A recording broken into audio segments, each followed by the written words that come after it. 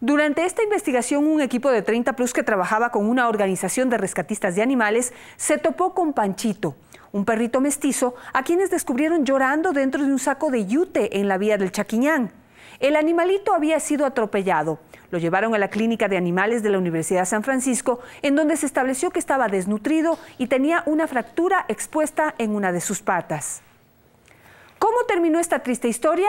Se lo contamos en el siguiente reportaje. Sábado 12 horas. Mientras acompañábamos a la Fundación Camino a Casa en su recorrido de búsqueda de perritos hambrientos para darles de comer, cerca de Tumbaco, a la altura del Chaquiñán, un ciclista nos alertó de un perrito muy mal herido, guardado en un saco de yute. Estaba montando bici, me subí por el peñón de allá, iba a salir al Chaquiñán otra vez y, y escuché unos llantos acá y le encontré a ese perrito encerrado en ese costal y está con la pierna rota. Al acercarnos con la cámara, vimos al animal indefenso que nos miró con una expresión en sus ojos que jamás podremos olvidar. Su mirada era de extremo dolor e inocencia. La acompañaba un llanto angustioso con el que suplicaba a gritos que le ayudaran. Era evidente que había sido atropellado y que tenía una fractura que volvía casi imposible cargarlo y llevarlo sin causarle más dolor.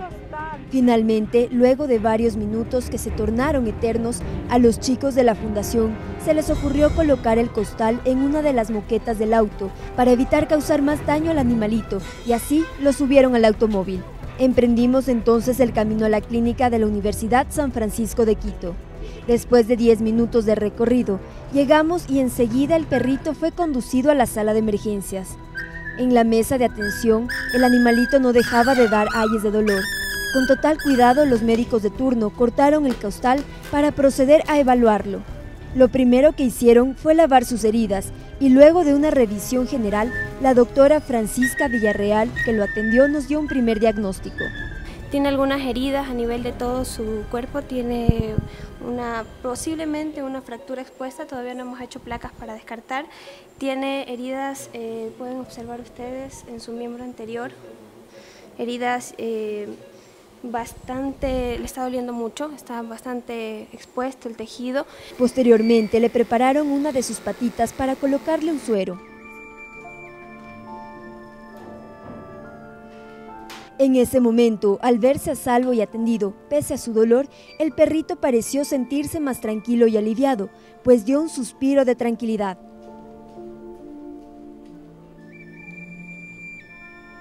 Los médicos no dejaban de atenderlo y ya pensaban en los siguientes pasos. Vamos a hacer placas de rayos X de todo el nivel de toda su columna porque pensamos que tiene un trauma en columna. Aparte de eso, bueno, todo lo que sea fracturas de huesos y eso eh, es, secundario y obviamente genera mucho dolor y molestia, pero nos vamos a enfocar más en toda su parte interna. Vamos a hacer un eco a faz para poder descartar que exista algún sangrado interno, daño de algún órgano. Eh, vamos a hacer placas de rayos X obviamente para complementarlo. Una de las mayores preocupaciones de ese momento era la hemorragia y la deshidratación grado 9 que presentaba el perrito de apenas 6 meses de edad. Por lo pronto le vemos bastante estable, hemos ya colocado una vía, tenemos una vía permeable donde estamos administrando antibióticos, analgésicos y eh, estamos también en este momento le estamos monitoreando al parecer se encuentra bastante estable, me preocupa un poco el tema de que haya pasado mucho tiempo dentro de un saquillo porque tenemos un poco de, miedo que tenga shock por calor. Ha pasado mucho tiempo ahí, según me comentan, estaba el saco cerrado. Con tristeza, ese rato dejamos al perrito sabiendo que estaba en buenas manos y que harían hasta lo imposible para salvar su vida.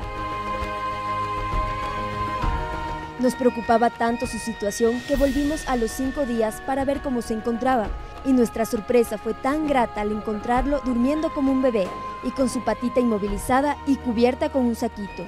Este perrito había dejado de ser un perro anónimo para convertirse en Panchito. Ahora se recuperaba de una operación de salvataje de su patita que impidió que se la amputaran, pues se trataba de una fractura expuesta de húmero con muy mal pronóstico. El doctor Cuenca, su médico tratante, nos amplió más sobre esta cirugía. Esta cirugía es una cirugía de salvataje que llamamos. En el caso de él, perdió gran, una parte de hueso del húmero. Lo que tratamos de hacer es una artrodesis, es decir, eh, una, eh, una estabilización de la articulación para que él utilice la patita, pero no va a poder utilizar todo el rango de movimiento. Es decir, va a quedarse estática esta parte del codo, pero la parte del hombro, de la manito, va a moverlo. Entonces va a permitir que él se desplace. Para que esto se logre al 100%, Panchito deberá hacer una rehabilitación, aunque su pronóstico es reservado, pues podría presentar infecciones. Parte del tratamiento, eh, del tratamiento que se hace con Panchito es después de la cirugía, inmediatamente comenzar la rehabilitación. Es decir, el día, el día de mañana vamos a comenzar, ya que se desinflame un poco y tenga, esté menos dolorido, con la parte de rehabilitación, que en este caso se, se maneja con varios sistemas, que puede ser el electroestimulación, el, el, magnetoterapia, para ayudarle a que ese miembro suelde más rápido y se, sea más funcional más rápido. Panchito corrió con bastante suerte al ser encontrado a tiempo, caso contrario le habría esperado la muerte.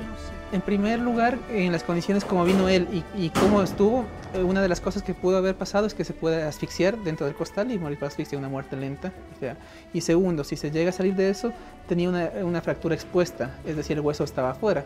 Puede eh, tener una infección de hueso, una sepsis y morir por una, una infección general de todo el organismo. Hasta el cierre de esta edición, Panchito seguía en tratamiento y esperando que al cabo de un mes estuviera totalmente listo para darlo en adopción. Panchito, la historia triste de un perro con final feliz.